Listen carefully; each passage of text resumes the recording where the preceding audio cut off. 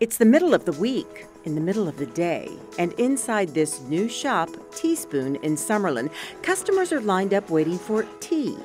But not just any tea. So I'm about to try the Cocoa Lover. What they serve here are traditional teas swirled with boba, an ingredient created in Taiwan. Boba is tapioca balls. Um, it started out in Taiwan, um, very popular across Asia, but really growing in the United States. So um, they're basically cooked, um, and we cook ours with brown sugar, and um, they're a little extra treat in your drinks. If you're like me, you may just be getting familiar with boba. There are different textures and flavors, and all of them make the teas served here taste like dessert through a thick straw. So we have like um, a pop-in boba, which is one that kind of when you chew on it, it has juice that comes out of it, which is a little different than the normal tapioca texture.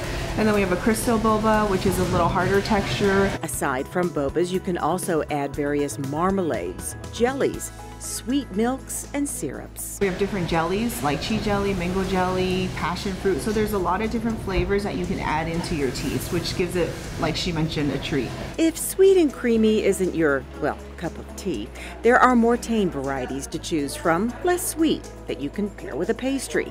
If it sounds a little overwhelming, not to worry. Teaspoon has a menu of custom drinks if you're not quite ready to create your own concoction.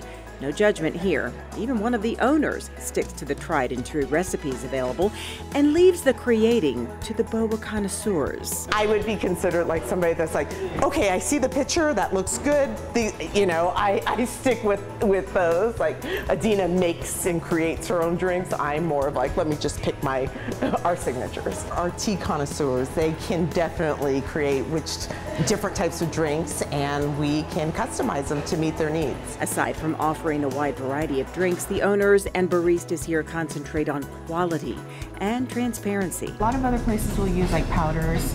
We'll do fresh ingredients. We do a lot of fresh fruits. And then we brew our teas like right in front of our clients. So some of them are need to brew longer, so those not so much, but most of our teas will brew right here with our machines. It's that attention to detail that resonates with the customers. I really like Teaspoon because they have these like really unique flavors that you don't find at most of your other tea shops and uh, it seems like they use a lot of high quality ingredients as well. So I had to get in line and see what all the fuss was about. My very first tea included boba, taro milk, and slow cooked taro chunks, which are like yams. But before taking that first sip, Francesca taught me there's a reason they seal each drink with a cellophane lid. Mix it up really good. Okay. And then you go ahead and undo your straw.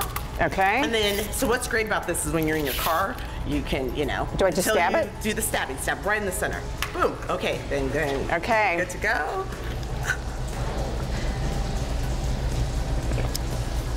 my God. I told you. I told you.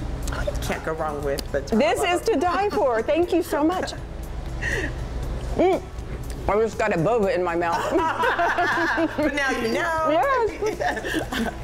Cheers. So, if you would like to try a tea that can also serve as a dessert or just an afternoon pick me up, head over to Teaspoon for a unique and decadent experience here in Summerlin at 1990 Village Center Circle or at the other location at the 215 Beltway and Durango Drive. We want you to enjoy life one teaspoon at a time, and so that's really important.